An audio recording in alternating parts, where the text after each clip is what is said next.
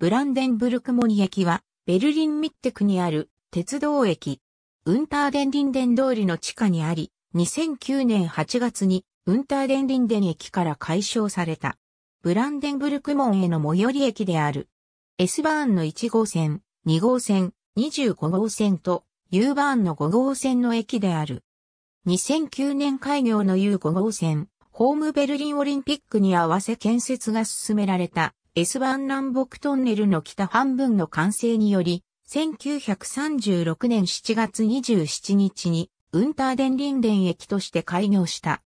第二次世界大戦末期、ベルリン市街戦の影響により1945年4月21日から1947年12月1日まで営業を停止。再開業後は東ベルリンに位置することになった。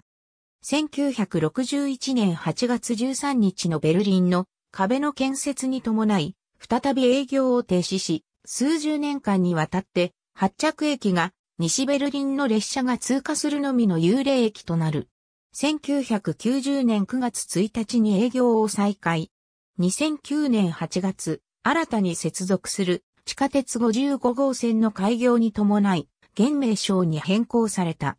ありがとうございます。